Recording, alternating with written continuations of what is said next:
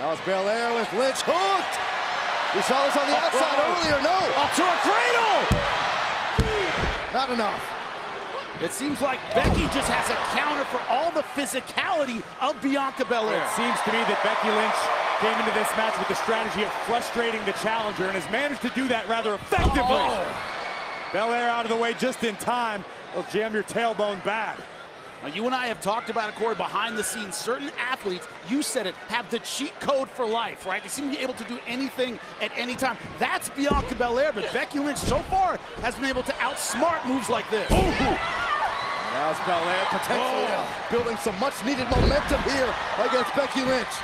This is what Becky Lynch wanted to avoid, the challenger gaining momentum.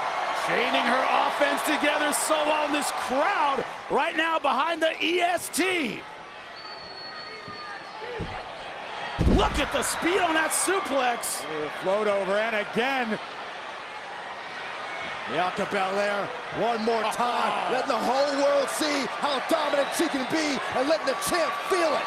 I can do it fast. I can hold it up there for a little bit. To the cover. Will she be a new champion? No. Gonna strike from the air. Bianca Belair out of the way. Oh, face first yet again. Creative evasion by Belair. And the strength once again. At the mercy. Oh, face first. Goes Becky We Lynch. have to see a new champion now. Oh. Oh. And for the first time in this matchup, a look of frustration washes over the face of the challenger. Almost Bianca panic. Belair not stopping. Now on the top rope. Target acquired. Here comes Belair. Belair gonna fly. Getting airborne, but nobody home. But look, so fast back to her feet. Lynch looking for a boot in the corner. Belair a step ahead. Uh-oh. Can we see a KOD?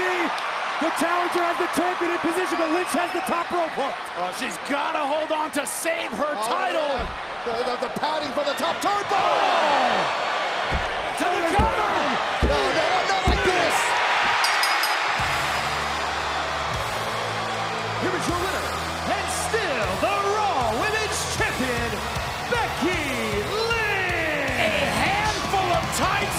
Champion retains.